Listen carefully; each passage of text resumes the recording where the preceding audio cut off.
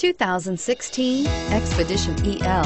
This is the largest SUV in the Ford lineup with seating capabilities of up to nine people. The Expedition EL is the elongated version of the standard Expedition and offers generous cabin space, aggressive looks, and outstanding towing capabilities, and is priced below $70,000. This vehicle has less than 100 miles. Here are some of this vehicle's great options. Leather-wrapped steering wheel, Bluetooth wireless data link for hands-free phone, air conditioning, front, cruise control, AM FM stereo radio, power door locks, center console, tinted glass, vanity mirrors, cup holders. This beauty is sure to make you the talk of the neighborhood.